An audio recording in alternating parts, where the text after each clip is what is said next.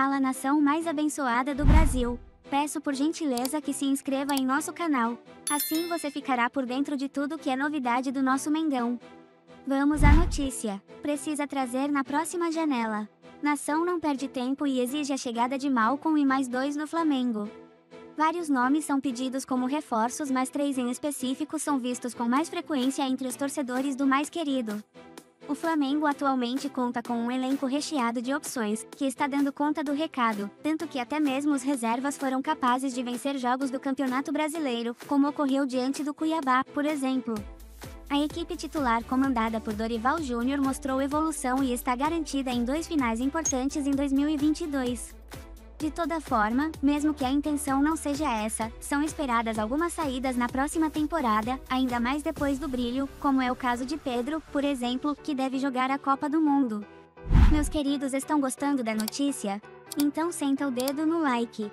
Além disso, outras situações envolvem jogadores que estão chegando em uma idade mais avançada e podem perder um pouco do ritmo acelerado, como Everton Ribeiro, que fará 34 anos.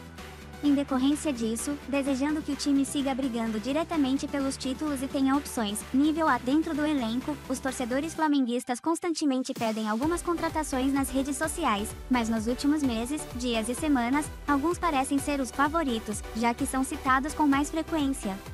O trio é composto por Malcolm, do Zenit, Oscar, do Xangai Porte, junto com Pedro Raul, do Goiás.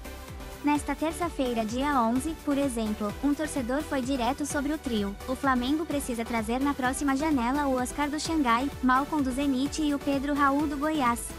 SRN Elenco Pro Mundial escreveu, já levando em conta a chance de vitória diante do Atlético Paranaense na Libertadores. Amigos, chegamos ao fim de mais uma notícia. Não esqueça de se inscrever em nosso canal. Estou sempre trazendo novas notícias do Flamengo para vocês. Fiquem na paz e até o próximo vídeo.